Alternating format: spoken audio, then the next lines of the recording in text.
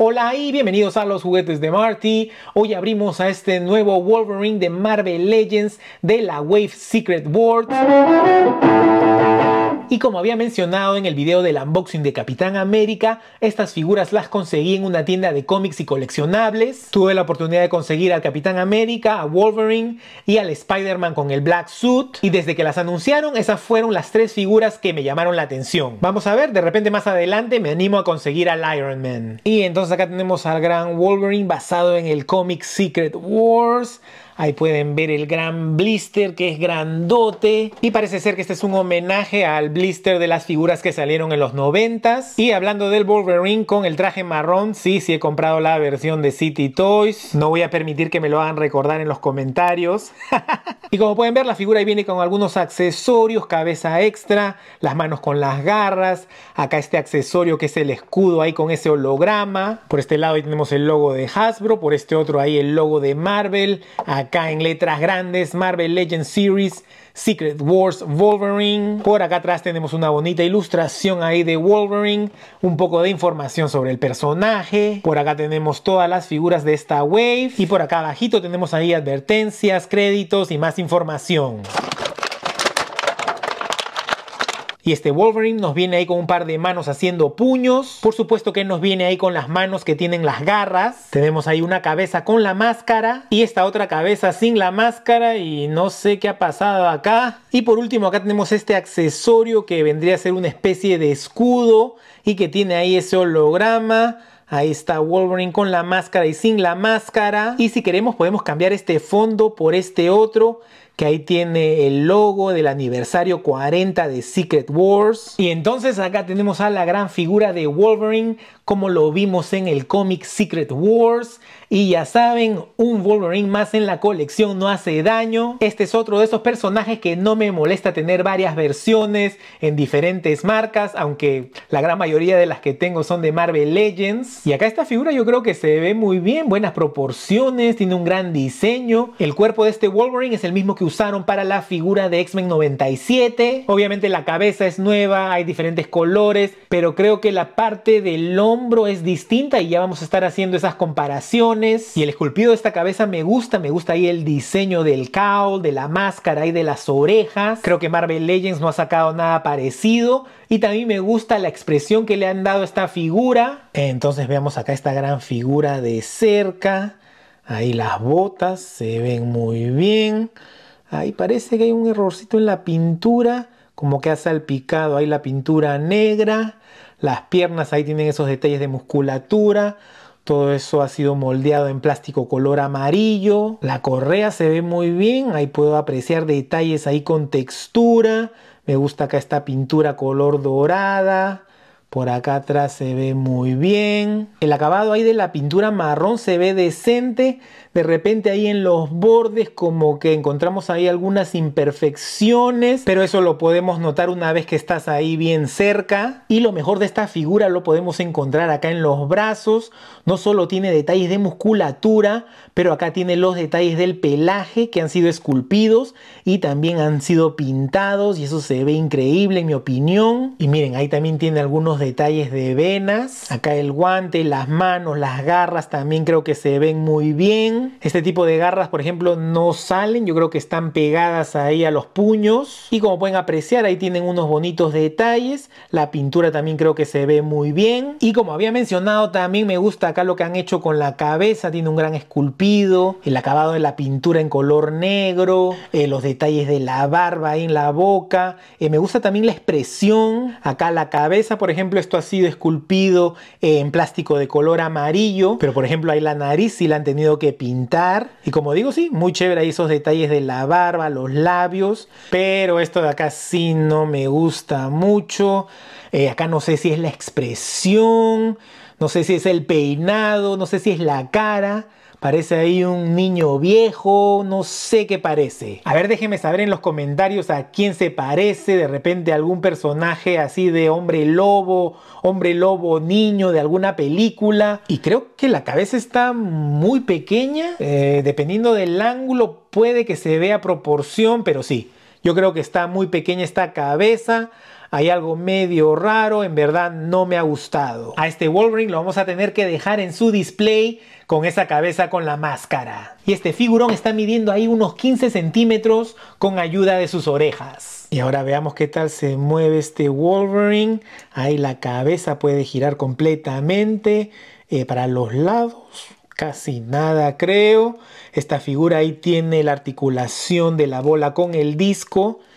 Y ahí nos va a permitir mirar hacia arriba para abajo ahí completamente, muy bien. La figura ahí tiene la articulación mariposa, acá el brazo puede rotar completamente, 90 grados, muy bien.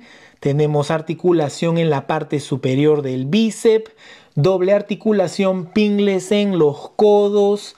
Acá el guante no puede girar, pero las manos ahí sí. Podemos hacer este movimiento también. Acá en el torso la figura tiene el ab crunch. Nos va a permitir este movimiento. Y ahí para atrás, ahí es lo máximo. Tenemos acá articulación en la cintura. Las piernas ahí nos van a permitir hacer el split. Para adelante y para las patadas. Ahí es lo máximo.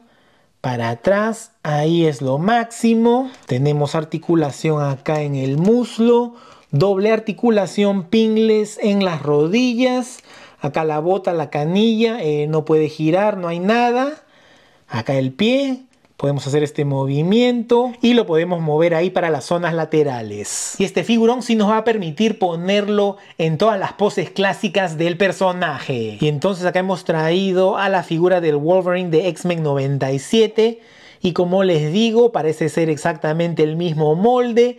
Obviamente hay las diferencias en pintura tenemos diferencias ahí en el esculpido de los cinturones. Acá la parte del pañal también parece ser diferente creo. Pero de ahí acá las piernas las botas es el mismo molde pero en diferente color. Todo lo que vendría a ser el torso ahí parece ser lo mismo. Y acá en el brazo casi todo parece ser lo mismo excepto por los hombros. Ahí las garras los detalles acá del vello corporal que también han sido esculpidos, pero en esta figura no fueron pintados. Y ahí pueden ver las diferencias en los hombros, acá tenemos este detalle de musculatura, en esta figura también tiene ahí detalles del vello corporal, y esta figura por supuesto que ahí tiene los huequitos para las sombreras. Y ahora acá lo tenemos al lado de estas otras versiones del personaje, que también son de Marvel Legends y que también tienen el traje de color marrón y en realidad estas otras figuras sí tienen el traje de color marrón. Como mencionamos, el traje de esta figura parece tener ahí un color medio anaranjado oscuro, está tirando más para anaranjado. Y todas estas figuras ahí parecen tener el mismo torso, si no me equivoco. Creo que definitivamente acá el Helbering y acá este, este Wolverine Zombie, creo, ese es el que vino con Lilandra, si no me equivoco. Esos sí comparten el mismo torso. Obvio que los brazos y las piernas sí son distintos. Todas estas otras figuras tienen los pins en los codos y las rodillas. Pero las botas sí parecen ser lo mismo. Y el Wolverine que tenemos a su mano izquierda, que es el de House of X, ese sí parece tener eh, un molde completamente distinto en piernas, brazos, creo que también ahí en el torso. Y ahora acá quería hacer unos head swaps y le he puesto la cabeza del Wolverine de Astonishing X-Men. Y esto como que puede funcionar. De repente la cabeza está muy grande, pero ya saben, ahí dependiendo del ángulo, de la perspectiva, se puede ver bien. Obviamente que hay algunas diferencias ahí en el color de la piel. Y esto ahora, ¿qué tal? Con la cabeza del Helvering. esto sí se ve súper varas. Y acá quería probar otra cabeza más. Y este es eh, una de las cabezas que viene con el Wolverine del tripack de Jean Grey, Scott y Wolverine.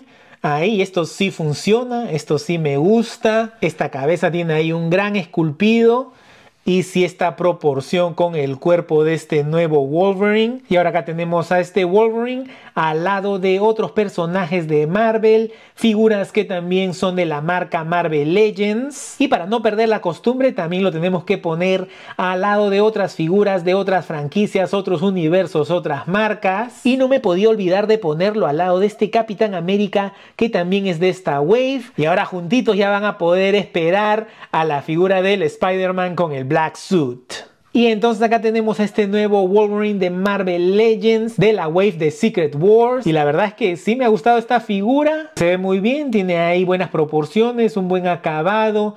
Me gustan mucho ahí los detalles, especialmente ahí en los brazos. Y también me gusta mucho la cabeza con la máscara. Me gusta mucho ahí esa expresión, esos detalles ahí de la pintura en la barba. Me gusta cómo se ven las orejas. Y la cabeza sin la máscara sí no me gustó para nada. No creo que la esté usando. Y ya saben, como siempre digo, un Wolverine más en la colección no hace daño. Y entonces no sé si te recomendaría esta figura, especialmente ahí por esa cabeza sin la máscara.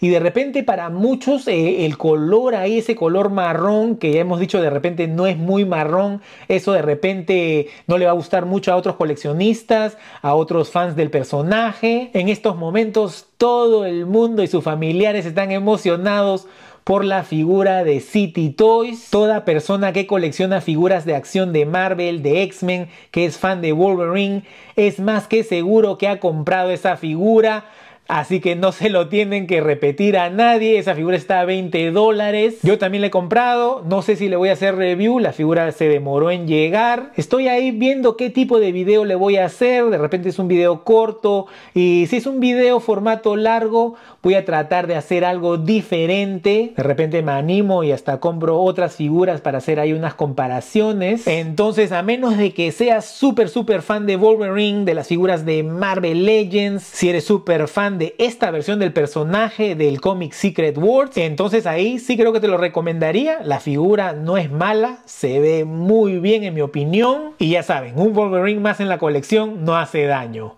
Entonces bueno, no se olviden de suscribirse, de comentar, de darle like. Acuérdense, estos son los juguetes de Marty. Yo soy Diego, no soy Marty. Hasta la próxima.